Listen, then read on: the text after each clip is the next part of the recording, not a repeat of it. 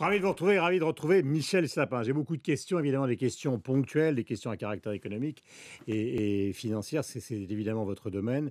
On va commencer par une question politique. Vous avez l'impression de l'intérieur que quelque chose a quand même changé et que le quinquennat, comme le disent certains commentaires ce matin, a véritablement commencé sur le plan politique. Guerre. Le quinquennat n'a pas commencé hier, mais il a hier trouvé cette deuxième phase que souhaitait le président de la République. Un deuxième moment, une deuxième phase. Il fallait d'abord colmater les brèches. C'est ce qui a été fait avec le gouvernement de M. Hérault et avec nous-mêmes, pour beaucoup d'entre nous, à des postes euh, les mêmes ou d'autres.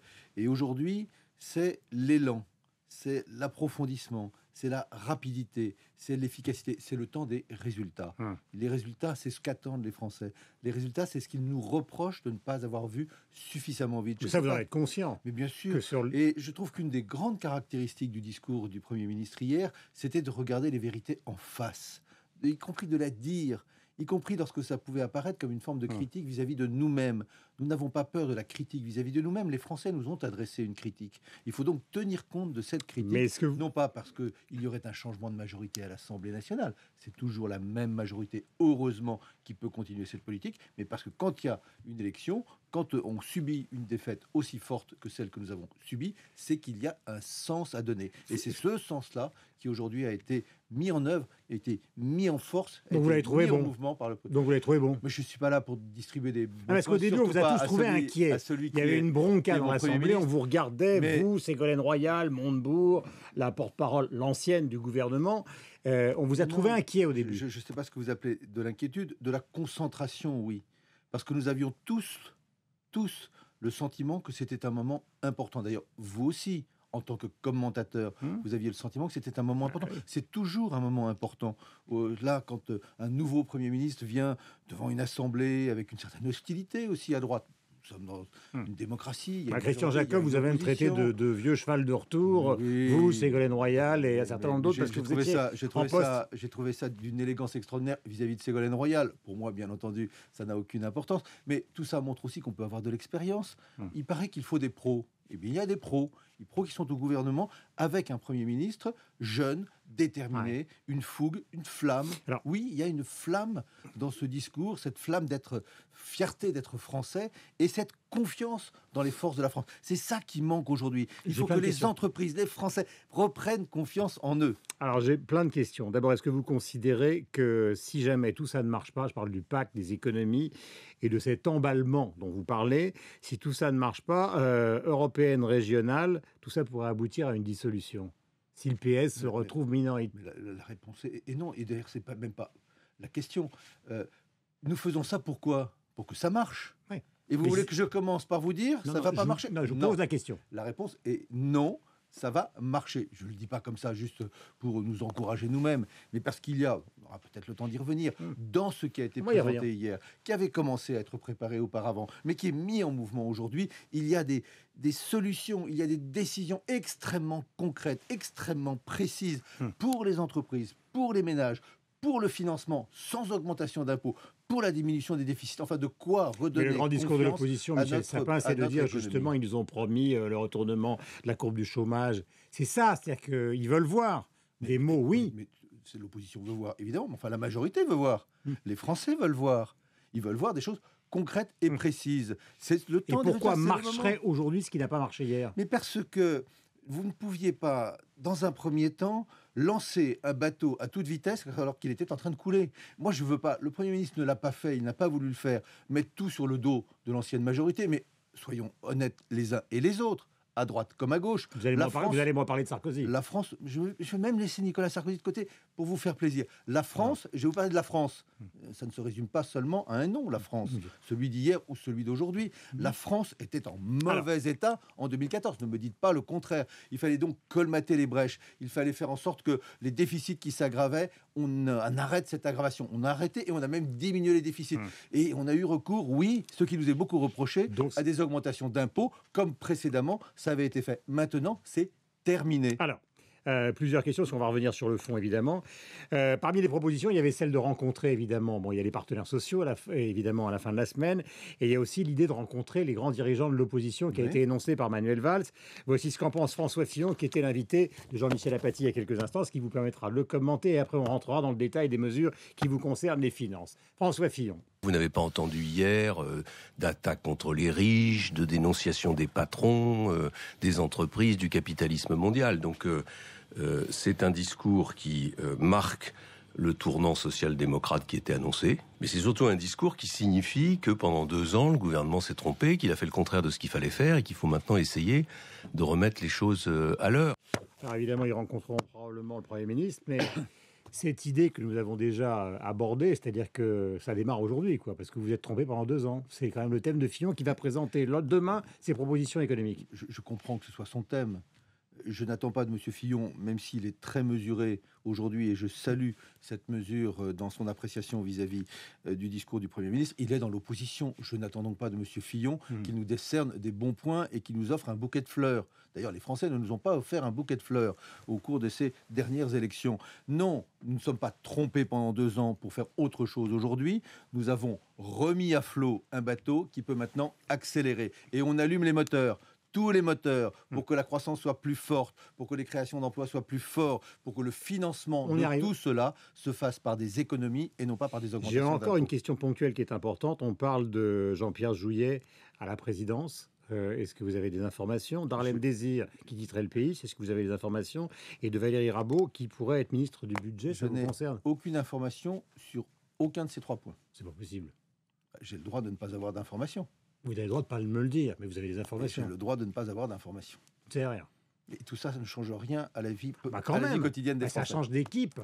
Tout ça ne change rien à la vie quotidienne des Français et aux préoccupations des entreprises qui veulent aujourd'hui investir embaucher et qui veulent en avoir les moyens. On va, on va parler justement des chiffres qui concernent euh, le soutien à la croissance, parce que c'est le grand objectif euh, euh, développé par Manuel Valls. Je voudrais revenir sur les, sur les 39 milliards d'économies qui, semble-t-il, ont été quand même relativement documentés hier par le Premier ministre. Il en manque une dizaine. Est-ce que ça veut dire que dans les mois qui viennent, vous, puisque vous êtes ministre des Finances, vous allez nous apprendre qu'il y a les opérateurs de l'État qui vont disparaître, qu'il y a des gens qui vont fusionner Je pense à des, des choses comme le le CNC, l'ADEME, enfin, c'est pas cela, hein, mais est-ce que ça, c'est prévu pour les 11 milliards qui manquent Je ne veux pas en citer, mais hier, le Premier ministre a décrit de manière extrêmement précise, courageuse, volontariste, hum. une réforme des collectivités territoriales, de l'administration territoriale de la France. Il y aura aussi une réforme profonde de l'organisation de l'État et de ce qu'on appelle habituellement ces opérateurs, mmh. un certain nombre d'établissements qui ont été créés, qui se sont multipliés, y compris, et j'allais dire surtout, sous la précédente majorité, une sorte de démembrement de l'État qui, à la fin, finit par coûter cher sans pour autant que cela apporte beaucoup plus d'efficacité. quand est-ce qu'on aura la liste de ceux qui vont disparaître, le, être mutualisés en cours. ou continuer? Le travail est en cours. Vous avez dit, à juste titre, que hier, le Premier ministre a décrit en grande masse, s'il avait s'était rentré dans le détail euh, million par million, vous auriez trouvé hmm. que ce discours était sans souffle. C'était pas son rôle, mais c'est mon rôle. Hmm.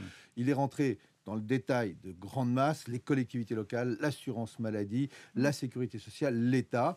Nous aurons milliard par milliard une explication précise sur chacune de ces économies. C'est la vérité que nous devons aux Français, c'est la vérité que nous devons aux parlementaires français et c'est la vérité que nous devons aussi à nos partenaires européens. Michel Sapin? Mais c'est d'ici la fin de ce mois, car après, au mois de mai et au mois de juin, au mois de juin, nos partenaires européens auront, et c'est normal, à échanger avec nous. Mmh. Nous sommes des partenaires. Nous regardons attentivement ce qui se passe dans les autres pays. Ils regardent attentivement ce qui se passe chez nous. Et il est normal. Donc on aura une feuille comme celle-là documentée et le, toutes les économies. Et le Premier ministre a annoncé qu'il y aurait une loi de finances rectificative à l'été. Une loi de finances rectificative, vous savez pourquoi c'est faire? Pour rectifier les finances. Et donc on rectifiera les finances. Et donc ce sera extrêmement précis. Et ce sera précis parce que dans ce domaine-là, il faut aussi jouer la vérité. Même si la vérité n'est pas toujours simple ni à dire ni à faire. C'est une obligation, on est d'accord. On arrivera au bout des 50 milliards. Mais nous aurons un financement. Revenons un peu sur cette, ce point-là. C'est la première fois dans l'histoire récente de la France hmm. que l'on va financer intégralement un programme d'allègement d'impôts pour les ménages, pour les entreprises, uniquement par des économies et des économies réels qui seront répartis sur les trois années, de manière à Parce ce que c'est que par vous êtes ailleurs, attaqué aussi. On Mais dit ça on va être attaqué, flou, on ils sont en train de nous enfumer et il y en- et il se passera on rien. est attaqué, on peut pas encore être attaqué, on est interrogé. Hmm. Cette interrogation, elle est nécessaire. Je suis sûr que nous serons critiqués Hmm. par les uns par, comme, comme par les autres. Les mêmes qui aujourd'hui nous réclament deux fois plus d'économies, Hmm. ils nous disent 130 milliards. Vous leur poserez la question d'ailleurs. 130 milliards, moi je n'ai pas Là, on l'explication. parle du programme de Bien l'UMP. sûr, de l'UMP. J'ai pas, la- j'ai pas la réponse sur un seul milliard de leurs Ah bah, ils vont économies. dire comme vous, ils vont dire on va arriver bien, avec oui, une oui. feuille blanche Bon, et il y aura tout. Moi, je suis au pouvoir, donc je ne peux pas me permettre de faire comme eux, annoncer 130 milliards sans être capable d'expliquer quoi, et même et 50 milliards, ce sera précisément, Mhm. précisément, Alors. point par point, l'explication du chemin qui sera le nôtre Mhm. pour financer intégralement notre programme de relance de l'économie, Mhm. de soutien à l'activité. Vous savez, le meilleur moyen pour s'en sortir à tout point de vue, c'est d'avoir une croissance plus forte. Et tout ce programme-là, Mhm. il est fait pour que la croissance s'accélère en France. On va parler de nos partenaires, on va parler du délai réclamé euh, pour le déficit, de l'euro qui a été critiqué évidemment euh, par Manuel Valsière.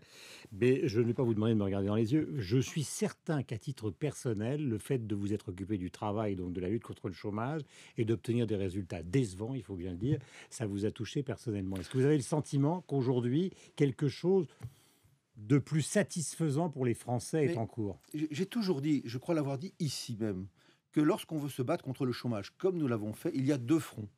Il y a le front de ce qu'on appelle les politiques de l'emploi, Hmm. des emplois d'avenir. Je suis fier des plus de 100 000, on doit être à 120 000 emplois d'avenir aujourd'hui mis en la place. Parce que, c'est, mais parce que ce sont 120 000 solutions apportées à des jeunes qui sinon seraient Hum. au chômage. Et il y a beaucoup d'autres politiques. Mais j'ai toujours dit qu'il y avait cette, ce front-là, nous l'avons mené et nous l'avons mené avec efficacité, mais il y a le front de l'économie réelle, Hum. de la création d'emplois dans les entreprises. Au fond, si je me trouve ici, c'est peut-être parce que ça me permet, après avoir avancé sur le premier front, les politiques de l'État, pouvoir avancer sur le deuxième front, que l'économie là-dessus qu'il il aurait fallu commencer. Enfin, je vais pas faire Mais nous l'avons fait, nous l'avons fait par ailleurs, mais il faut accélérer, il faut que ça aille plus que vite. ce matin, vous pouvez me dire, je suis certain que d'ici la fin de l'été, ça va vraiment décélérer Parce qu'on avait dit avant Noël, et puis les Français vous ont sanctionné sévèrement, parce que c'est le chômage, c'est quand même le discriminant numéro un dans le domaine politique. Est-ce que ça va changer Oui, là mais je ne veux pas revenir sur toutes les. Non, mais oublions le passé, mais là, etc. maintenant, Non juin. pas, non pas parce que je voudrais l'effacer. Je rappelle simplement, comme l'a dit hier le Premier ministre, qu'à la fin de l'année dernière, Hmm. nous avons stabilisé le chômage qui a explosé pendant six années de suite. Donc les Français qui se prennent sur la figure pendant six années, mois après mois, Et des chômeurs compris, de hein. plus, avez il y a un hein. moment donné où ils ne croient plus rien, Voilà. ils ne croient plus personne. Et ils votent plus pour vous. Et ils votent plus pour nous ni pour les autres. C'est le pire. C'est quand ils ne votent même pas. Ils ne croient plus personne. Ils ne croient plus en personne. Il faut leur redonner confiance, y compris. Donc vous pensez que d'ici le mois de juin, dans la va, politique ça et dans la se parole retourner politique. vraiment Mais d'ici ce mois de juin, nous nous battons pour que sur les deux fronts, il y en a un où ça a beaucoup avancé, les politiques de l'emploi. Et François Rebsamen va continuer à sa manière, avec ses mots, avec sa personnalité, pour continuer sur ce front-là. Mais moi, avec Arnaud Montebourg, j'ai la responsabilité. Hmm. Ça marche, que Montebourg et le front. Oui, très bien. Contrairement à tout ce qui est dit. Il y a eu des bêtises qui ont été dites sur notre déplacement à Berlin qui sont quand même incroyables. Vous êtes On, parti dans des. on nous reproche de partir dans deux avions différents. Ah oui Oui, bah, je voulais que je vous donne le numéro de, le- du vol Air France de l'un et du vol Air France de l'autre. Donc, ne faisons pas de polémique de cette nature-là. Et vous croyez que moi, je dispose... Donc à Bercy, ça va fonctionner bien vous croyez maintenant. que moi, je dispose du euh, euh, temps des autres ministres allemands? L'un était libre le matin, l'autre était libre l'après-midi. J'allais quand même pas demander à Arnaud Montebourg euh, de passer sa matinée à aller Hmm. au théâtre ou aller au concert. Bien, donc vous voyez, il y a des polémiques idiotes. Au contraire, c'était une image très belle qui a été très bien comprise en Allemagne. Les deux ministres, exactement de même nature que les ministres allemands, ministre des Finances, ministre de l'économie, se déplacent ensemble et vont parler avec notre partenaire allemand, non pas pour quémander quoi que ce soit, parce que pour les Allemands, une France forte, c'est indispensable. Mais il nous faut ce délai, parce que les Italiens disent ce matin, nous on fera 2-6 à la fin de l'année, les Français, basta. Mais les Italiens, ils ont 120% ou 130% de dette, donc chacun a ses difficultés, chacun a Oui, ses problèmes. Nous, nous avançons avec un programme d'économie qui finance intégralement le soutien à l'activité et à la croissance. Avec plus de croissance par- fi- financée par des économies, il y aura une diminution de notre déficit. Nous ne changeons rien à nos objectifs, nous ne changeons rien à nos engagements, nous ne changeons rien par rapport à nos partenaires. Nous ne changeons rien sur tout ce point. Le terme qui a été utilisé hier par le Premier ministre est le bon. Il faut trouver le bon rythme. Le Hum. bon rythme. Oui, mais le bon rythme, On ça- ne diminue pas les déficits si la croissance n'augmente pas. Il faut donc faire en sorte que cette croissance soit plus élevée pour que nous puissions diminuer, même Hum. peut-être plus rapidement à la fin, nos déficits. L'euro est trop fort, répondez-moi très vite. Pardonnez-moi, c'est Je vais peu... dire autrement, l'euro est plus fort aujourd'hui qu'il l'était euh, à l'été 2012. Ça a des conséquences qui sont des- néfastes pour notre économie. pour une partie de notre économie, celle qui vend à l'extérieur de la zone euro et qui en particulier a comme concurrent euh, le dollar. Oui, ça a des conséquences pour nous comme pour nos autres partenaires. Mais je sais que c'est un débat qui est un vrai débat. Le FMI, Fonds monétaire international, vient de dire vient de dire la même chose que le Premier ministre hier. Personne ne lui en fera reproche. Merci beaucoup, Michel Sapin, d'être venu nous voir ce matin. Merci. Je rappelle que vous êtes ministre des Finances. Vous ne toujours pas me dire si Valérie Rabault va être ministre du Budget, parce que vous allez la retrouver bientôt. Mais je vous sens euh, très intéressé par Valérie Rabault. Non, c'est le Tarn-et-Garonne qui me passionne. ah, voilà, c'est le Tarn-et-Garonne. Mais je peux vous donner son 06 si vous voulez. Ah, donc, elle va être ministre du Budget, je le sens. Merci beaucoup, bonne journée à vous.